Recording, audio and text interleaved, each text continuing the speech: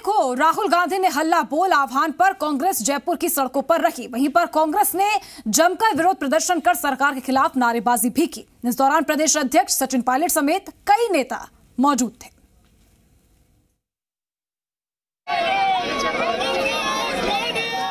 Rafale मामले पर सरकार को घेरने वाली कांग्रेस अब सीबीआई डायरेक्टर की छुट्टी पर भेजने के मामले को लेकर सरकार को सड़क पर घेरने की कोशिश कर रही है। चुनावी मौसम में कांग्रेस इन मुद्दों को भुनाकर पाँच सूबों में हो रहे चुनाव में जीत हासिल करना चाहती है। इसी के मद्देनजर कांग्रेस के राष्ट्रीय अध्यक्ष राहुल गांधी ने देश भर में कांग्रेस नेताओं को सड़क पर उतरकर हल्ला बोलने का आह्वान किया था, जिसके तहत जयपुर में कांग्रेस ने सड़कों पर उतरकर जमकर सरकार का विरोध प्रदर्शन किया और सरकार के खिलाफ जमकर नारेबाजी की। हालाँकि धारा 144 का हवाला देकर पुलिस ने सीबीआई मुख्यालय के बाहर धरना प्रदर्शन करने की इजाज़त नहीं दी। प्रदेश कांग्रेस अध्यक्ष सचिन पायलट अविनाश पांडे के नेतृत्व में पैदल मार्च करते हुए सीबीआई मुख्यालय की तरफ़ बढ़ रहे थे, लेकिन पुलिस ने सीबीआई मुख्यालय से पहले ही कांग्रेसी नेताओं और कार्यकर्ताओं को रोक लिया। इस दौरान कांग्रेसी नेताओं और पुलिस कर्मियों के बीच हल्का धक्का मुक्की भी देखी गई। सचिन पायलट ने पुलिस के रोके जाने के बाद सभा को संबोधित करते हुए कहा कि देश में केंद्र सरकार संवैधानिक संस्थाओं को खत्म कर रही है। जिसका कांग्रेस पार्टी विरोध कर रही है। और जिस प्रकार से आरोप प्रत्यारोप सीबीआई पे हो रहा है, आप समझ सकते हैं जो क्रेडिबिलिटी है, वो समाप्त हो चुकी है और इस सरकार ने लगातार अलग अलग हमारी संवैधानिक संस्थाओं को खत्म कर कर खोखला करने का काम किया है। पूरा देश देख रहा है सीबीआई का इस्तेमाल सरकार ने किया विरोधियों को दबाने के लिए, उन झूठे आरोप लगाने के लिए। अब सीबीआई के अंदर आपस में जो झगड़ा हो रहा है, उसके लिए सिर्फ़ और सिर्फ़ सरकार जिम्मेदार है। प्रदर्शन में जयपुर कांग्रेस के अलावा बाहर से भी भारी संख्या में कार्यकर्ता जुटे थे। खासतौर पर महिलाओं की संख्या भी अच्छी खासी देखी गई। कार्यक्रम में कई नेताओं ने विरोध प्रदर्शन के बहाने अपना शक्ति प्रदर्शन भी किया। बाबूलाल नागर और रघुराय जैसे नेता बड़ी संख्या में अपने समर्थकों के साथ इन विरोध प्रदर्शन में शामिल हुए। जयपुर कांग्रेस के नेताओं ने कहा कि, कि कांग्रेस के वक्त सीबीआई के दुरुपयोग का आरोप नहीं लगता था। सीबीआई ने कई मामलों में कांग्रेसी नेताओं के खिलाफ भी कार्रवाई की थी।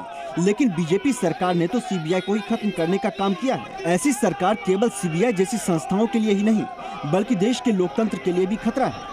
बीजेपी सरकार ये समझती है कि पूरा देश डर जाएगा, कांग्रेस डर जाएगी। कांग्रेस वो पार्टी है जो किसी भी कीमत पर सीबीआई जैसी संस्था जब राफेल डील घोटाले की फाइलें लेकर जाँच करना शुरू होती है तब आप अचानक बंद कर देते हैं सीबीआई के दफ्तर को और आप मिस्टर आलोक वर्मा उनके डायरेक्टर को हटा देते हैं। कांग्रेस वो पार्टी जो देश पर न्यौछावर हो गई। कारण इतना सा कि रफाल डील की जाँच हो रही इसलिए आप बदमाशी कर रहे हैं। कांग्रेस चुप नहीं रहेगी, लड़ेंगे सड़कों पर, मरेंगे, लेकिन भ्रष्टाचार और इस बीजेपी के तानाशाही का खुलकर जवाब दें इस प्रकार से एक व्यक्ति को निरूपित किया गया इंटरिम चीफ के रूप में, जिनके ऊपर आरोप भी लगे हुए तो ये सारी बातें इस बात की गवाह है कि आज देश देख रहा है कि एक ऐसा घोषित आपातकाल है, जहाँ पर सारी स्वायत्त संस्थाओं की संप्रभुता को, उनको, उनकी जो एक सेंटिटी है उसे प्रहार किया जा रहा है, आघात पहुँचाया जा रहा है, जिसके माध्यम से भ्रष्टाचार पर पर्दा डाला जा सके। राफेल की जाँच वो करने वाले थे इसलिए सारी कवायद अपनाई गई है। तो इस बात का सूचक है कि आज जनता की आवाज़ को लेकर हम सड़कों पर है। सीबीआई मुख्यालय के बाहर प्रदर्शन कर रहे हैं और जनता के साथ ये बताना चाहते हैं कि इस देश की सारी जो स्वायत्ता है, उस पर प्रहार करके मोदी सरकार एक तरह से अपने काले कारनामों पर पर्दा डालने का प्रयास कर रही है। साफ़ तौर पर अगर देखा जाए तो राहुल गांधी ने रफाल डील मामले को एक बड़ा चुनावी मुद्दा बना दिया है और इसके बाद अब कांग्रेस सीबीआई विवाद को लेकर भी सरकार पर हमलावर है। ऐसे में कहीं दो राय नहीं कि चुनावी मौसम में कांग्रेस केंद्र और राज्य सरकार को घेरने को लेकर कोई भी मौका छोड़ना नहीं चाहती। सीबीआई पर यह सियासी संग्राम आने वाले दिनों में और भी तेज देखने को मिल सकता है। सचिन पायलट अविनाश पांडे की लीडरशिप में एक मार्च हुआ और यहाँ आकर पुलिस के साथ हल्की धक्का मुक्की हुई, टकराव की टकराव के हालात बने, लेकिन पुलिस ने हवाला दिया कि धारा 144 है। लिहाजा इनको आगे नहीं जाने दिया वापस लौट चुके हैं। कैमरामैन विजय के साथ सुशांत पारिक, जी मीडिया।